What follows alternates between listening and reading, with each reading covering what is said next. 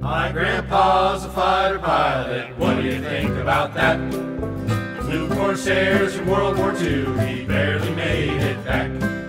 He shot down several Zeros, and after he was done, he went back to Kentucky, cause he had a farm to run. And someday, if I can, If I can, I'm gonna be a fighter pilot, just like that old man.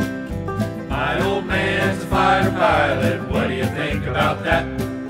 Flew F-4s in Vietnam, he never made it back. For Twelve long years he fought there, it's where he met his wife. Settled in the Philippines to lead a quiet life. And someday, if I can, if I can, I'm gonna be a fighter pilot, just like my old man. Now I am a fighter pilot, what do you think about that? I flew the Mark in Turkey, I flew it in Iraq. Now I fly the Viper with missiles, bombs, and guns. Someday when he's ready, I'll give it to my son. And someday, if he can, He's gonna be a fighter pilot just like his old man.